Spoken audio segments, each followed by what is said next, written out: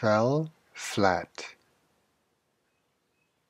If something fell flat, it means that it completely failed, fell through, came to naught, did not produce the expected result, effect, outcome.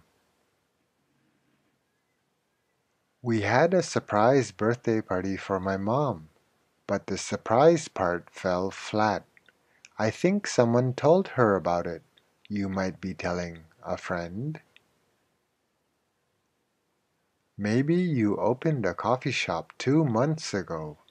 Our grand opening fell flat, but I'm glad to say that business has been pretty brisk since then. This speaker set fell flat of expectations. The sound isn't as great as I thought it would be. You might be explaining why you're returning them to the shop. As you can see, if something fell flat, it did not meet your expectations, did not live up to your ideals, nor did it turn out as expected.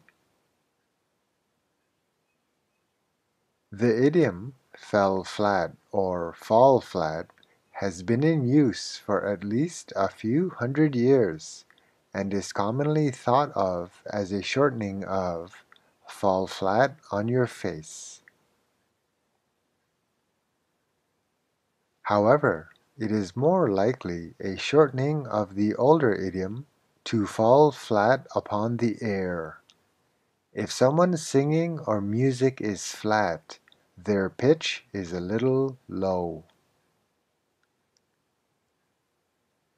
Every culture has idioms for failures, washouts, snafus, blunders. In Russian, you would lay an egg. This is also an English idiom.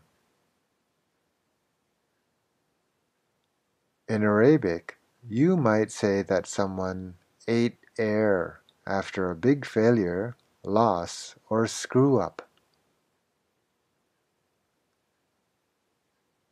When you keep falling flat and just can't get it together, you might hear the advice not to give the foot with the ball in Spanish. The beach resort really fell flat of my expectations. You might be chatting with your friend after your vacation. Perhaps your husband is angry that his city's team lost the championship game. We could have won, but they fell flat at the wrong time. If your efforts fall flat, just get right back up and try again. Your dad might be giving you advice.